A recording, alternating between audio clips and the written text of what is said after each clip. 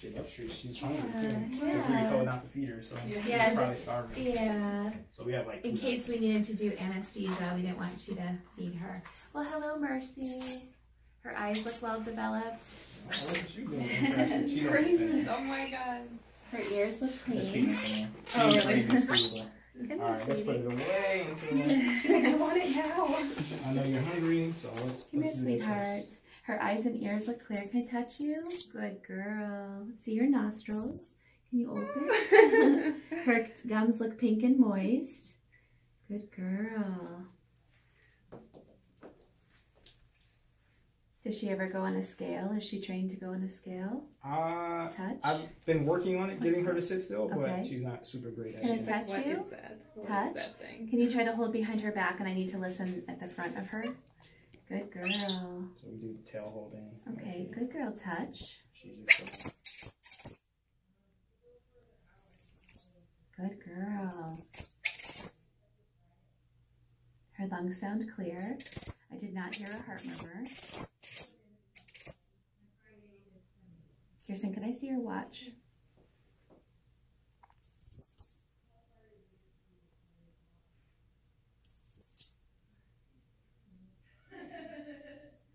One eighty is her heartbeat.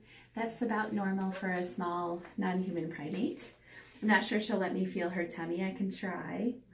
But um, as they get older, they can get dental disease, so it's good to try to train her to have her teeth brushed. Yeah, I, I know they have With a child's toothbrush? things like that. Yeah, So, little yeah. chew, you know, hard, little crunchy treats will help clean, keep her teeth clean. What am I doing? What are these blue gloves? But um, if you have like a child's toothbrush and you can train her, work even with plain water and brush it, because you know, or else fluoride-free child's tooth toothpaste. You don't want her to swallow fluoride. Yeah, that's what I'm worried about. Yeah, she can't have fluoride around, so we have to give her bottled water. Okay. Okay. Yeah. Fluoride will She's eventually. moving really well. Does she have a heat cycle yet, or have any? You know, she she's not around a male where Spotting, she would no. have bred or anything like that. Okay, she looks really healthy.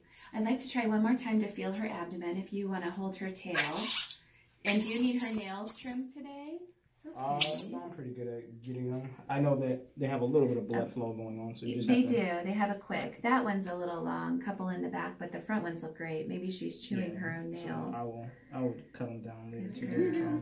I don't want her to nip you, but I would like her head to be that way so I can feel her abdomen. So I can hold her, but she will not like it. Yeah.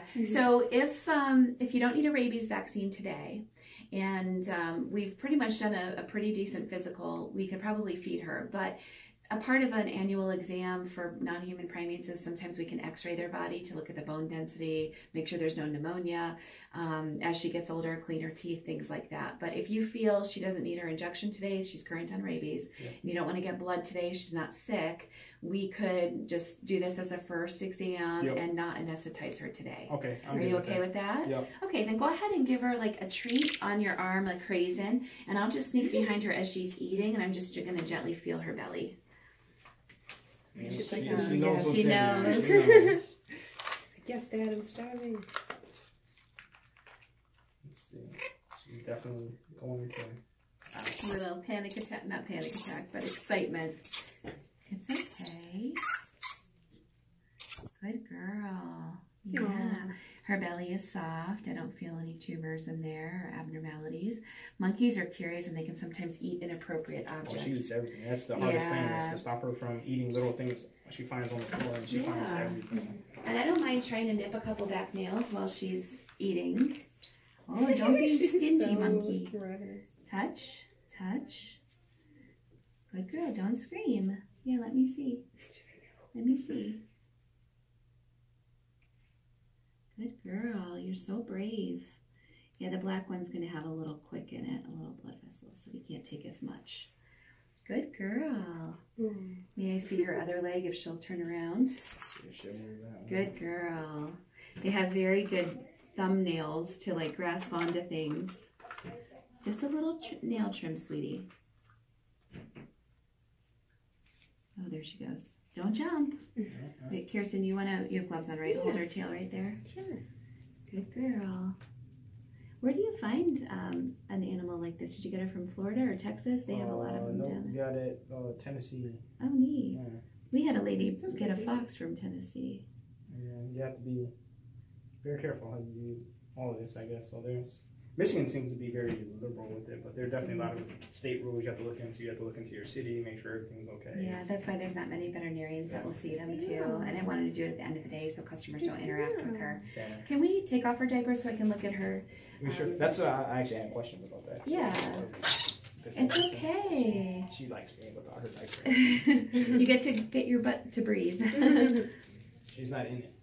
She's not in it all the time. Okay. she, So you urinated a little bit. Um, do you have a stool sample from her Uh, today? and I figured she would use the bathroom. She uses the bathroom. Sometimes so- when they're stressed, yeah.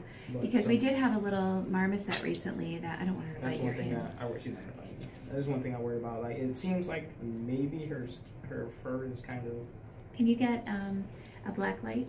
Yeah. Just hold on to her for a second and